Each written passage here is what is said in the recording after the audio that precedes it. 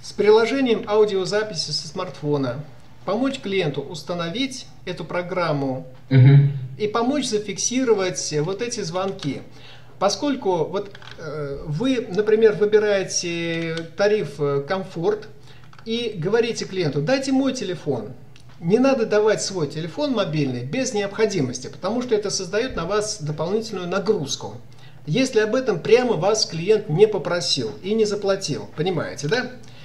Итак, Виталий Юрьевич, если вы договорились о том, что защищаете от недобросовестных действий против кредиторов, то вы э, представляетесь в диалоге с кредиторами прямо фамилия, имя, отчество вашего подопечного, клиента.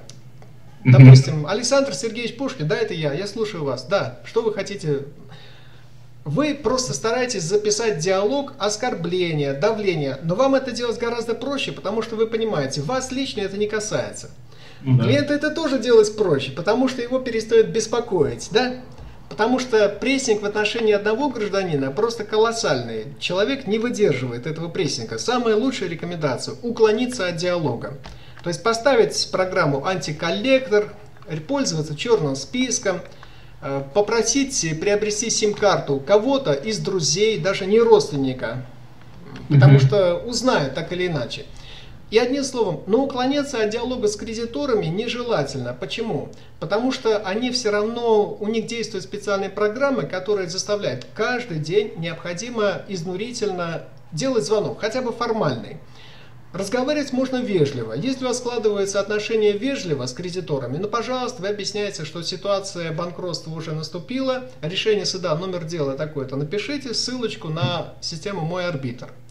Иногда на этом звонки прекращаются, но не во всех случаях. Иногда после этого дело передают агрессивным коллекторам, которые начинают э, сразу давить на вас. Ну, в ответ тоже вы можете ответить давлением. Во-первых, я фиксирую наш с вами диалог. Затем можно переходить не то, чтобы как это заводиться, в русском языке достаточно жестких слов, даже безбранных слов, которые помогают человека поставить на место. Надо разговаривать о личности самого коллектора. Рекомендуется, что, во-первых, эти ребята все наймиты, они нанятые. Во-вторых, они продажные.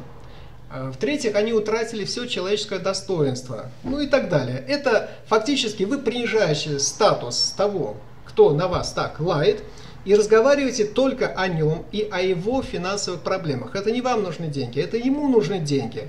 И он ради этих денег готов буквально продать собственную шкуру. Вы постоянно обсуждаете только его, а о должнике не разговаривайте. После того, я повторяю, как вы довели информацию о решении суда, о том, что дело о банкротстве имеет следующий номер, слушается дело и так далее. И рано или поздно диалог все-таки прекращается. И одним словом, в завершении процедур банкротства самый желательный результат, если достижение этого результата можно перевести на определенные бюджетные платежи, то это уже не проблема, это уже расходы. Поэтому в среднем процедура банкротства занимает около 200 тысяч рублей. Этот бюджет э, может быть сокращен за счет самообслуживания клиента. Если к вам обратился клиент с э, достаточно хорошим кругозором. Пусть даже нет высшего образования, но есть люди грамотные, много читают. Газеты, романы, допустим, неоконченное высшее образование умеет за себя постоять. Более вероятно, что он пройдет через процедуру банкротства, чем безграмотный, всего боящийся из-за собственной безграмотности. Понимаете, да, человек? Поэтому, если вот на стадии